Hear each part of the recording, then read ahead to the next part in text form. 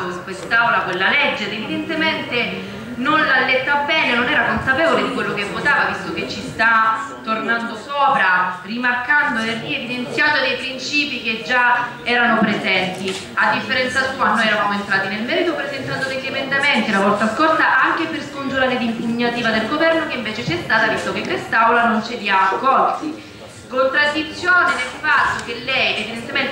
non l'ha letta bene quella legge perché quella legge non era del Movimento 5 Stelle, ma era iniziativa popolare. Quindi ben circa 40.000 cittadini hanno voluto che il Consiglio regionale del Lazio si esprimesse su questo punto. Detto questo, vorrei ricordare al centro-destra, per favore, di riflettere, in particolare al consigliere Rigemma, di riflettere quando interviene ed entra nel merito delle,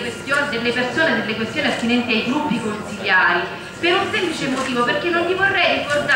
ogni volta che il suo ex capogruppo in questo momento non può votare questa legge perché sta in galera accusato con 416 bis, perché evidentemente qui c'è qualcuno che fa le cambiali noi con i cittadini, qualcuno le fa con qualcun altro evidentemente. Non vorrei ricordare inoltre che oggi manca di assente dal gruppo Forza Italia il consigliere Palozzi evidentemente impegnato su qualcos'altro come dalle ultime vicende note su Cotral e le promesse di buonuscita che venivano fatte quindi evitiamo per favore di fare la morale e mettetevi l'anima in pace che finché ci saranno i cittadini nelle istituzioni difenderanno la volontà popolare in Consiglio regionale, nel Parlamento e ovunque saremo. Difenderemo la volontà e fa, faremo sì che il frutto della volontà popolare rimanga tale e non venga stravolto